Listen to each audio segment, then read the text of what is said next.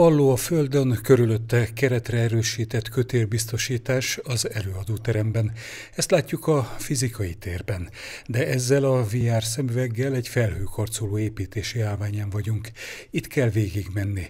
Ha hibázunk, nem zuhanunk a mélybe, hiszen megtart bennünket a leesés elleni védelmi eszköz.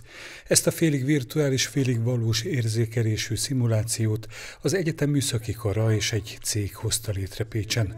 Egy baráti találkozón jött az ötlet. Magasban végzett munkát valahogyan tudnánk szimulálni, eh, amit, amit eh, valós eszközökkel és valós eh, biztosításokkal, meg balesetvédelmi eszközparkkal tudnánk gyakoroltatni.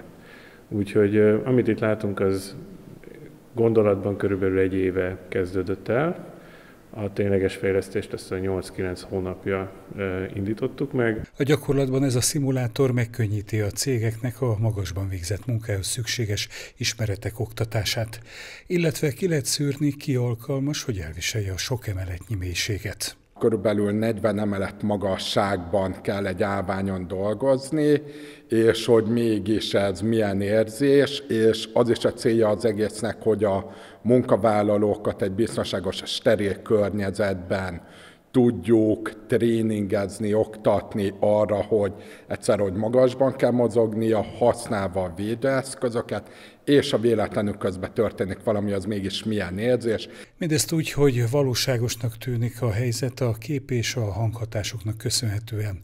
A fejlesztőknek az a célja, hogy a szimulációs eszköz és tartozékai elférjenek egy bőrönben, így akár a cégekhez ellátogatva bárhol összeállítható legyen ez a szimulációs tér.